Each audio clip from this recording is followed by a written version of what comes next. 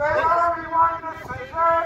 No extradition! There's only one decision. No extradition! We have come here today in protest at Home Secretary Priti Patel, who has signed off on Julian Assange's extradition to the United States, cravenly agreeing with the High Court and Westminster Magistrates Court, who have fitted Julian up for this extradition without a fair trial, yes. without a jury of his peers, in disregard of his Australian citizen, in denial of his human and legal rights, Priti Patel has condemned Julian Assange to death.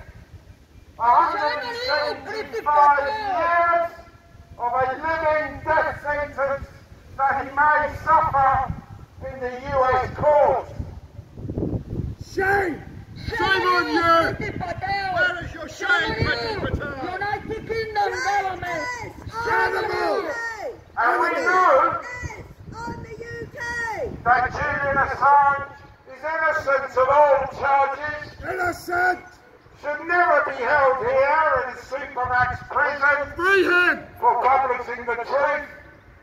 And we know that WikiLeaks has continued to reveal the criminality, the endless expense on war, occupation, invasion and death of civilians, while Boris Johnson hops on his flight to Kiev to sell more British weaponry to further a war that could only end in the end of civilization should it escalate beyond the borders of the Ukraine. We know that Julian Assange has published these truths and has been punished for these publications Shame! has been abandoned by the British and international media that once worked with WikiLeaks, Shame! who now cravenly beg Priti Patel not to extradite him, but have done nothing to secure Julian's freedom in their own publications for the past 10 years. These people are crooks, they are state actors, and they are pumping out the same message over and over again. And we know that Julian Assange is not a spy. We know that he is a journalist.